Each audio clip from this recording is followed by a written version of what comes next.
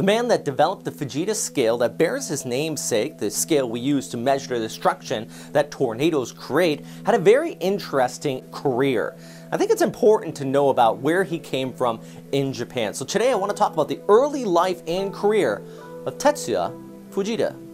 A young 18-year-old Tetsuya Fujita was actually deciding on where he wanted to go to college in the late 1930s. He had a decision between Hiroshima University for Teachers or the University of Technology at Meiji University. His father, though, on his deathbed in 1939 told Tetsuya, go to Meiji University of Technology. Of course, being Japan in the late 1930s, Tetsuya honored his father's wish and he attended Meiji University. Remember, this was in 1939 Japan, just a few years prior to the bombing of Hiroshima. It's an interesting thought. If he had attended Hiroshima University, at that time he may have been a professor there.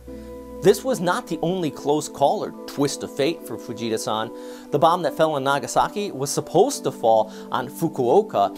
At that time, Fujita was a professor at Tobata University, which that day had cloud cover overhead. In his autobiography he wrote later on his life, he said he heard the sirens on the day the bombs fell and even heard the plane off in the distance as it flew around Fukuoka. But due to cloud cover, they decided to switch that target to Nagasaki. So Fujita-san, young scientist in Kyushu just after the bombings of Hiroshima and Nagasaki, was one of the first people brought in to get an analysis on uh, what kind of bomb this was, where it fell, and why it brought so much destruction. And he even concluded correctly that the bomb that fell on Nagasaki actually exploded about 600 meters above the surface and not directly on the ground as traditional bombs did. This due to the damage pattern laid out from ground zero.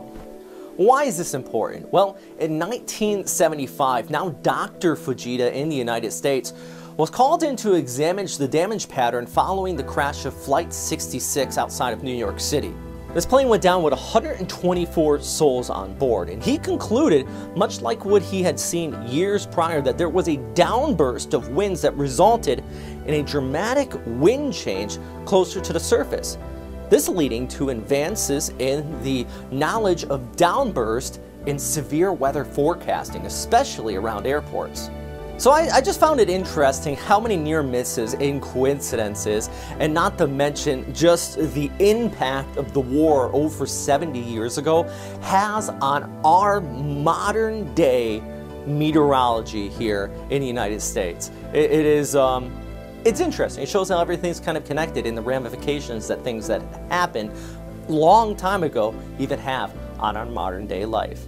Hey, if you like this video, please let me know down in the comment box below. I'm trying something out new here. Plus, if there's more things you would like to know about, let me know that as well, and I'll see if I can get to it. Don't forget to hit that subscribe button, follow me on these social media platforms, and of course, um, yeah, stay safe out there. And as always, thanks for watching.